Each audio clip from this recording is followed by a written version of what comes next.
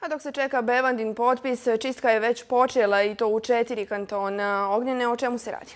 Pa evo, kao što se može vidjeti iz ovih prethodnih e, dana, SDP čini se e, želi SDA istisnuti istisnuti e, stranku demokratske akcije iz vlasti i to sa svih nivoa i to je već sada sigurno izvjesno. Međutim, problem će nastati pri smjeni ministara u federalnoj vladi. A evo i zašto. Jedan od modela je da ministri iz SDA podnesu ostavke na svoje ministarske funkcije, no to je malo vjerovatno.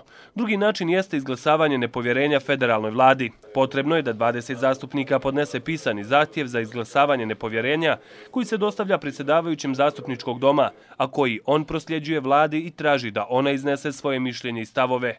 Nakon toga stavlja se na dnevni red sjednice na kojoj vlada može objasniti svoj rad, ali isto tako i podnosioci ovakvog zahtjeva mogu obrazlagati zašto traže njihovu smjenu. Za izglasavanje nepovjerenja potrebno je dvije trećine glasova u zastupničkom domu i nadpolovična većina u Domu naroda parlamenta federacije. Kada bi se i to desilo, isti dokument moraju potpisati predsjednik federacije Živko Budimir i dva podpredsjedavajuća. Odbijanje potpisivanja ovog zaključka moglo bi značiti pokretanje procedure pred Ustavnim sudom federacije i ocjenom rada predsjednika i dva podpredsjednika u skladu sa Ustavom. Zato bi SDP zajedno sa SBB-om mogao da traži smjenu predsjedništva federacije.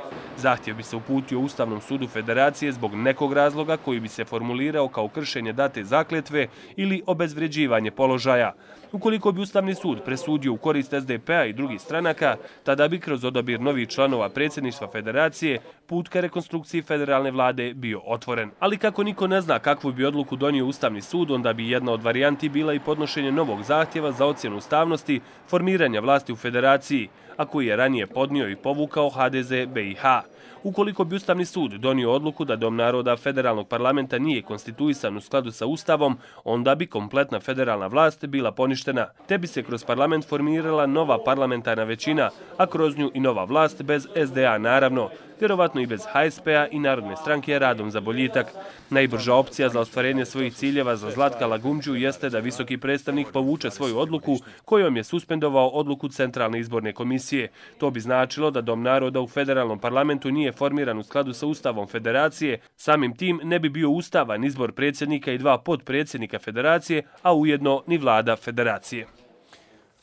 Portal Dnevnik.ba tvrdi kako će proces prekomponovanja vladajuće koalicije u federaciji biti otvoren ostavkom federalnog premijera Nermina Nikšića, koji je u nekoliko navrata ponovio kako će federalna vlada pasti ako dođe do preslagivanja koalicije na državnom nivou.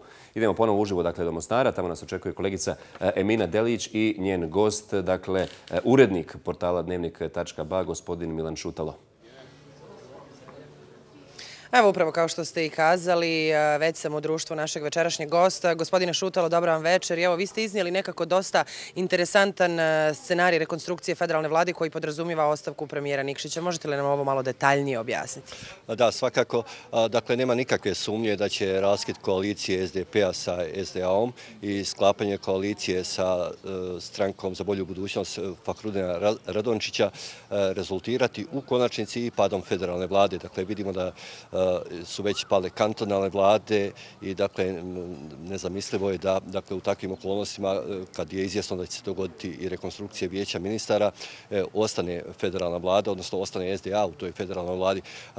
Po mome mišljenju i prema informacijama koje imam, najizjesniji scenarij od tri moguća scenarija je ostavka Nermina Nikšića. E, dakle, e, tri su dakle, moguća scenarija.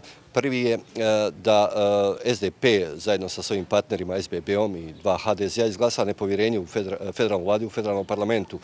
Drugi scenarij je da OHR povuče privremenu suspenziju odluke SIPA i treći je ostavka Nermina Nikšića. Ova prva dva scenarija su malo vjerojatna, Naime, e, e, izglasavanje zahtjev za izglasavanje nepovjerenja e, federalnoj vladi mogao bi obstruirati predsjedatelj zastupničkog doma gospodin Denis Vizdić koji je kadar SDA. Druga varijanta, dakle, da OHR povuče suspenziju odluke SIPA izazvala bi pravni kaos jer bi time sve dosadašnje odluke federalne vlasti bile nezakonite da bi se izbjegle te dvije mogućnosti, dakle i otvorio put za prekompoziciju vlasti, prema informacijama koje ja raspolažam, najjednostavniji put koji će se dogoditi način je da će Nermin Nikšić podnijeti ostavku i time oboriti zapravo cijelu vladu. Nakon toga ostaje još jedan problem, a to je pitanje što će se dogoditi sa predsjedništvom federacije. Dakle, znamo da je predsjednik federacije iz HSP-a, dakle da je podpredsjednik jedan iz SDA, gospodin Kjebo, gospodin Pudarić iz SDP-a. Mislim da će gospodin Pudarić, to su informacije koje raspolažem, vratiti mandat parlamentu, a od gospodina Kebe i od gospodina Budimira će se očekivati, zahtijevati da podnesu ostavke parlamentu jer su izgubili parlamentarnu većinu. Dakle, a njih je upravo parlament birao, oni imaju, nemaju legitimitet birača, izravni, dakle, legitimitet u takvim situacijama, dakle, demokratski uzusi nalažu kada izgubite, dakle, e, većinu koja vas je birala u parlamentu, dakle, podršku parlamenta, demokratski postupak je da vratite mandat ili da date ostavku u parlamentu. Na taj način cijeli proces bi bio vraćen na početak i počela bi zapravo ovaj e, e, pravljenje nove koalicije, novi izbor čelništa federacije i federalne vlade.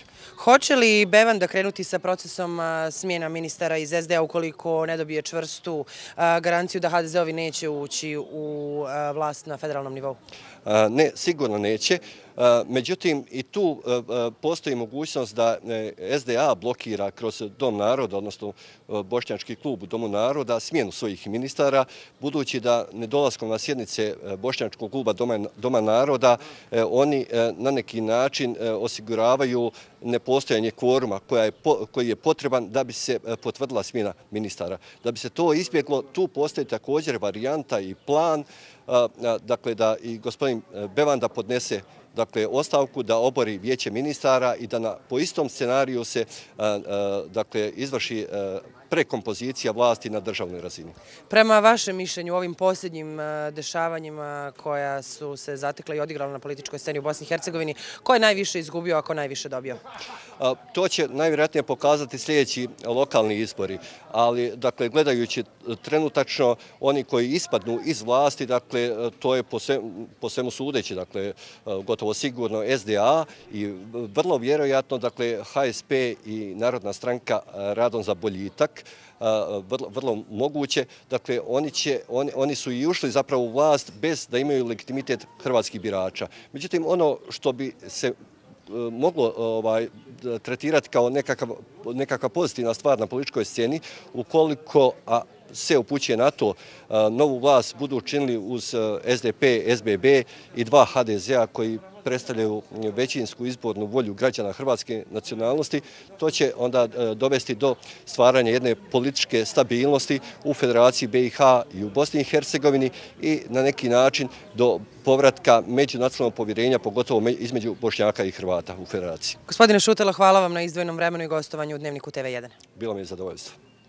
Dakle, poštovani gledalci, gosta Dnevnika iz Mostara bio je urednik portala dnevnik.ba, gospodin Milan Šutalo. Toliko za večeras iz Mostara. Hvala lijepo Emina. Emina Delić javila se dakle iz Mostara. Ajla, ja bih sa ovim završio svoj... Biće zanimljivo pratiti svakako rasplet ove cijelokupne situacije u državi. Tako je, tokom sedmice.